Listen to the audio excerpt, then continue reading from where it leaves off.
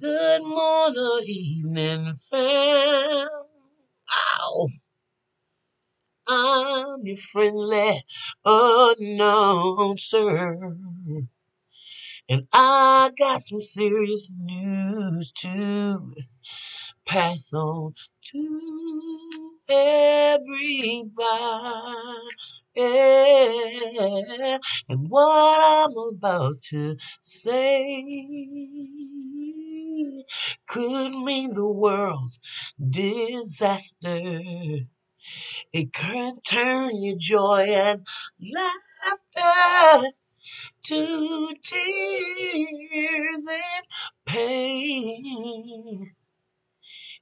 All right, y'all. And family, you know love is in need of love today. I ain't gonna keep going on, y'all, because I just woke up. Good morning to you. I know better than that. Afternoon, good evening, family. Welcome, welcome, welcome to the safe place right here, all right? Which is really the mental house with me, your host, the minister of soul, Khadijah. Listen, y'all. I had to make this video pretty early because I really do. I know that things need to be done, everything in decency and in order. And I had to make this response to the NFAC in Lafayette, Louisiana. There's a lot of y'all that's sick and tired of hearing about the NFAC and you call them agents and you you're saying that you know he uh, they're setting people up taking your names in the database and blah blah blah blah blah blah blah blah blah. And what's so sad for me at this age of my life, and I mean well past 50, so I'm a, a elder. I'm just the kind of elder that is open minded because I work with a lot of youth. Because you I work with a lot of youth that keep my mind pretty much on the pulse of what uh you know behavior.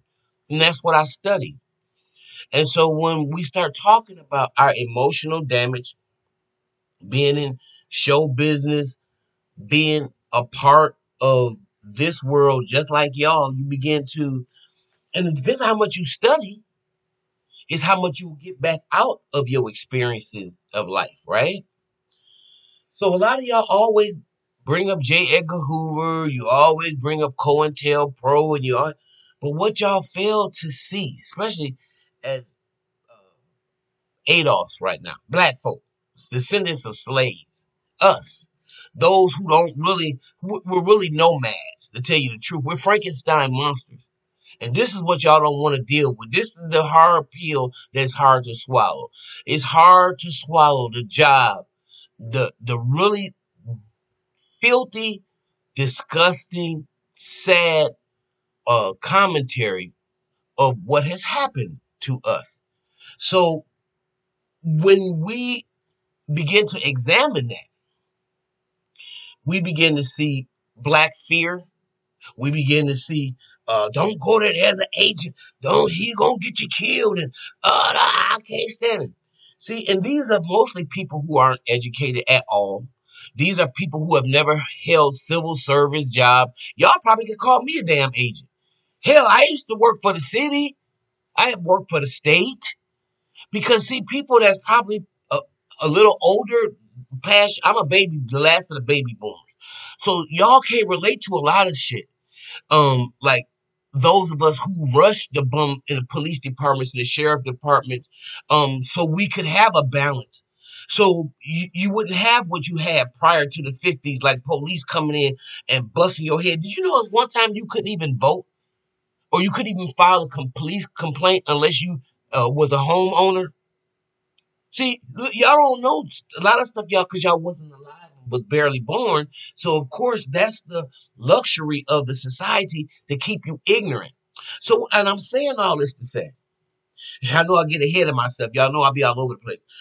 If J. Edgar Hoover was so afraid of the second coming of a Fred Hampton, a black messiah who could energize and wake up like who has been on the planet? Who has come to y'all in terms of, Fred Hampton uh times a thousand? Then brother John J. John Fitzgerald Jam Master Jay. Now I know a lot of y'all mad about that. A lot of y'all saying, "Well, he he ain't got he the leader, and he talked to uh, uh people in your country." Listen, shit or get off the pot. I don't know you heard your grandparents say that. I ain't got no time to nurse you. If you a baby, you go home and suck your mama's breast. We're looking for men and women, those who have been washed of uh, the, the fear off of them. See, so you can make up all kinds of excuses about what Master J is doing. But I think it should play out before you really um, say things. We've been duped before, so it won't be the first time. But if you think that we ain't never gonna get free. That means you was a slave thinking in the first place. Who are you and what have you done? You see, this is what happens when you're dealing with a lot of people. And see, they've dummied us down to a, to a point. There's a lot of us who have never worked a decent job. Only jobs we ever had was uh, service jobs. And I'm not saying there's nothing wrong with that because I use services. But if you've never had a job where you worked inside of a police department, if you worked inside the city hall, or you worked inside uh, uh, uh any other um, entity of government, you speak and you know how to work in a uh, uh, and you know how to follow direction. You know how to have discipline. You know how to enforce regulations and rules, especially if you're an officer or in my case, like a health inspector. You know, I had to write tickets. See, a lot of y'all don't even because you can't, you, you know, and, and those of y'all who know, y'all know what I'm talking about, especially my older listeners. But I'm making this specifically for my younger listeners because you got a lot of old heads that's giving y'all real bad advice because they're all shook down with fear. They're all, they got a fear blanket just all over them because they've been dogged out. And can you blame them? We've been beat down so much in this society, we're scared of everything. So if a Messiah came and showed up at our door, were glowing like the Jesus, we still be afraid because they have done a job on our minds in terms of making us riddled with fear, splitting us down the middle, beating us in front of our woman, in front of our man, in front of our children. That has a psychological toll on you.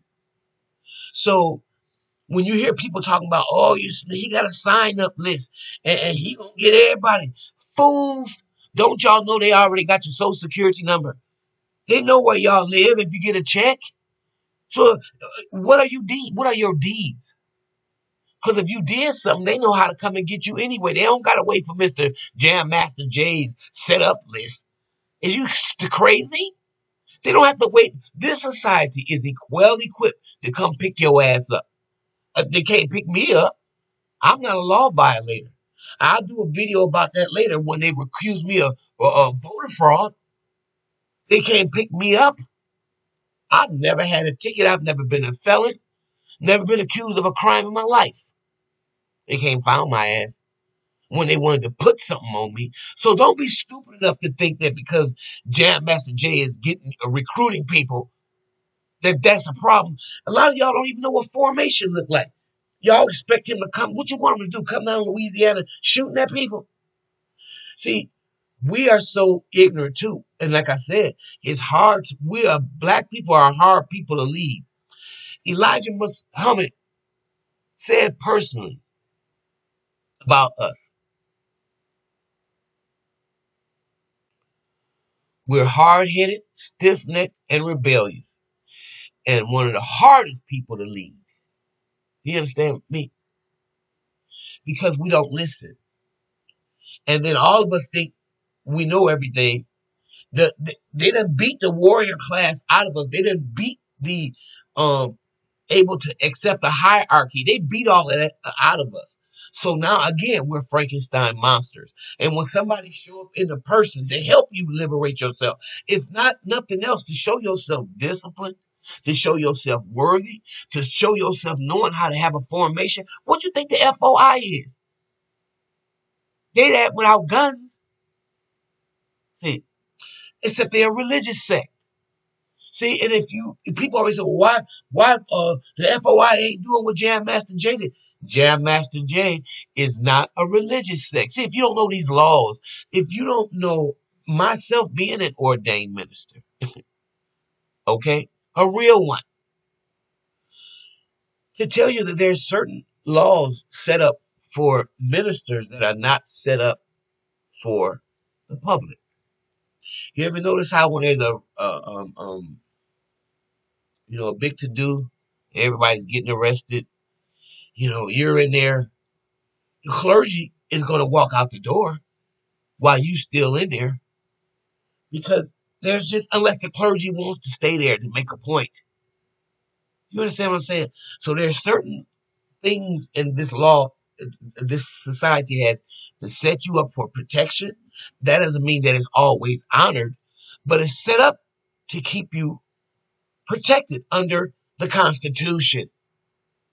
So, if you've never had any discipline, if you've never had a job where you've had to work under the Constitution to some degree, well, the only way you can get your uh, um, um, retribution to some degree is to have a disciplined group to show this government, put, like Dr. King said, put what you said on paper and make it true. Let me see you deny me with my numbers, armed like the Deacons of Defense, and allow me to show a different image of black men. And a lot of y'all got a problem with it. Okay? J. Edgar Hoover feared a charismatic black man, you know, to wake black people up. He feared it. Y'all got the blueprint, but you're still doubting him. If nothing else, this is a phenomenon. Y'all don't even understand what Willie Lynch said. He said that this we don't have to worry about these Negroes. We can keep them perpetually miserable. Unless what, you guys? A phenomenon comes along. This is a phenomenon. And don't miss it. Don't miss your opportunity. I got so emotional because just to see it, just to see it, I know how empowered my folks felt in Kosciusko, Mississippi, when the Deacons of Defense was patrolling. I can remember how my older relatives felt about some militia sticking up to protect us from a government that won't, that helps us get got. if you want to break it down, this is what Huey uh, Newton and what Bobby Seale and the Black Panthers was doing. That, that's what they were doing. They were saying we got a right to bear arms. The sad part about it is most of y'all act like y'all don't even see yourself as a citizen. And I get it. Because Malcolm did say you can have some kittens in the oven. It, it don't make them biscuits. So I get it. I get it. This country fears um, discipline, formatted, able to take order, um, able to listen, able to to put uh, uh, defend their community. This is this society has never had to deal with that on a large scale. So this is a phenomenon. Understand the time that you're living in and appreciate, I appreciate the higher power for allowing me to be on the earth at this time and in this place and in this space because you're witnessing a phenomenon that Willie Lynch said would never happen. that J. Edgar Hoover worked so tirelessly to stop from happening. And here it is at our door right now. And we want to discourage black people from shedding their armor of fear and knowing that they have a right. Being peaceful, they're not doing anything, but having formations armed like the Constitution allows them to do. You wouldn't even say that if it was a, a bunch of ROTC students with uh, um, being armed and was having formation because you expected to see it when it comes from the white man barreling down a gun on us. But it's really no fun when a rabbit got the gun. And so for those of y'all who don't like what I'm saying, my, my biggest fear is undisciplined, ignorant rah-rahs taking their own agenda and showing up with the NFAC, who is a disciplined, spiritual, as far as I'm concerned, at least I know, I, I, I know what, um, uh, um, Jam Master Jay is putting out. So who's ever under the sign of his voice is getting some spiritual food because we are spiritual based people. And he is feeding the spirituality in us, not that religious dogma that we've been made a slave through. That's why a lot of us scared of him because you're slaves. It's okay. I get it. I get it. But you do have to be bold and you have to be willing to die. And I contend if you haven't found anything to die for, why you living? And at some point, you have to be willing to want to protect your woman, your children, your grandchildren, and your legacy, just like the white man want to protect his. And if you don't see yourself like that, and you call yourself a warrior, man or woman, part of the problem. And we need to sweep your weak ass off to the side. Because only the strong gonna survive. Not those of y'all who fear this white man. Nobody's going out there starting no trouble. Nobody's going out there willy-nilly ignorant, undisciplined, unable to follow the law. Because if you are, Jay don't want you around him. And I wouldn't want you around me either. Because ain't nothing worse than a bunch of ignorant ass Negroes. Or white folks for that matter. But I'm just speaking to my group right now. Talking about he's a snitch and all this kind of stuff. A lot of y'all got snitches living right across the street from you, next door to you, telling the police everything about who do what in the neighborhood. Y'all ain't doing nothing, saying nothing about them. I know a few snitches in my neighborhood. God bless the dead. My man Stewart used to come and tell me all the time, so and so is a snitch, but don't look out for so and so now. Don't be messing with him. He a snitch. Yeah. So, you know, I might not, you know, have had a lot of contact with the law, but I didn't grow up fall down from heaven. A lot of my friends got felonies. Can't vote. Can't bear arms. Can't buy our firearms. You know, but they got guns. But they would never show up with Jam uh, Master Jay because they knew they out of order. Now, if somebody comes to their, that door, they do it with that rah rah stuff. They're gonna put them down where they stand. Whether they're a felon or not. Because the self-preservation is the first law. They'll worry about that other shit on the other end. But we should be proud of the NFAC. Just like we should, we were proud of the Panthers. Like we were proud of Deacons of Defense. Don't let nobody, um, uh, sucker you into being so riddled with fear that you're not even using no common sense. You're not a student of history, then you just taking everybody word for everything. And of all our studies, Brother Malcolm said, history best rewards our research. So, with that being said, family, I'm going to go. It's early, early, early in the morning. My voice is going. So we'll talk to you later. And be blessed. And NFAC for life. I'm with it.